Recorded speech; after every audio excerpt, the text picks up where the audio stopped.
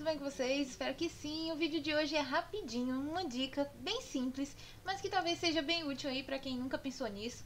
Eu tava com uns bloquinhos aqui, né, que já tá mais ou menos já quase no meio do ano, né, gente? Já estamos em abril. E aí a gente acaba arrancando as primeiras folhinhas e fazendo ainda o uso do calendário para o restante do ano. Mas essas folhinhas que a gente arrancou, se for esse tipozinho de calendário aqui, ó, que tem essa partezinha de baixo sobrando, a gente pode fazer o que? A gente pode recortar e fazer um novo bloquinho para que a gente venha utilizar em um outro tipo de é, imã de geladeira ou qualquer outra coisa. Então, a gente pode cortar aqui.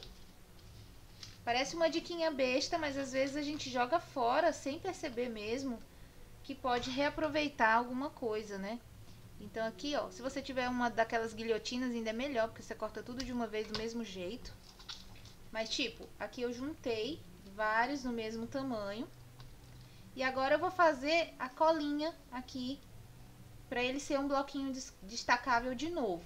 Então, qual é a cola que eu uso? Eu posso usar a instantânea ou posso usar a T6000. A T6000, ela é uma cola tipo de lantejola, então ela não vai colar na hora, você vai, ela vai virar tipo um, um gelzinho.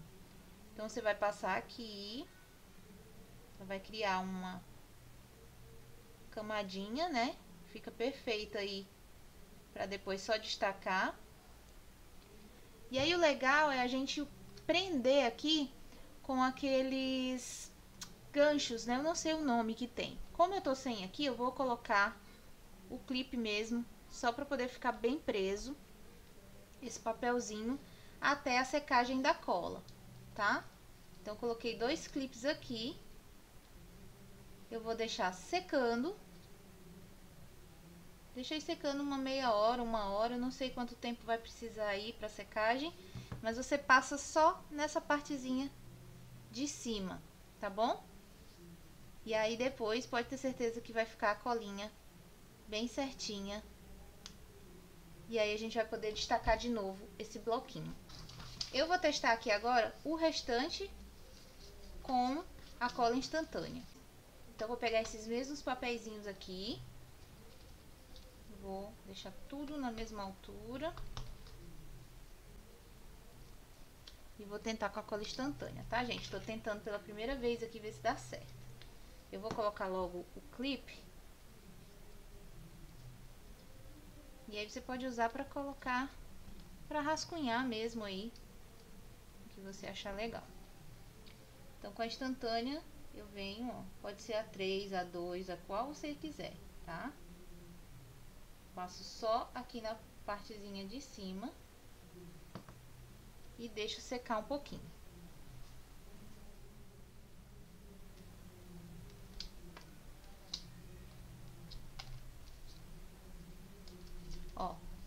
Já ficaram todos coladinhos. E aí, ó, você arranca normal. Escreve aí o que você quiser. Pra não ficar as folhinhas soltas o tempo todo. A gente pode fazer isso aqui, reaproveitando os papeizinhos que a gente tiver por aí, tá bom? Então, uma dicasinha simples aqui também. Dá super certo com a T6000. Ó. Que ela fica colinha tudo bem juntinho. E aí você pode aproveitar para fazer um novo porta-recado com papelzinho e até mesmo usando esse recurso para fazer com papel ofício, você corta ele lá e faz os seus próprios bloquinhos usando as colinhas da Tecbond, tá bom?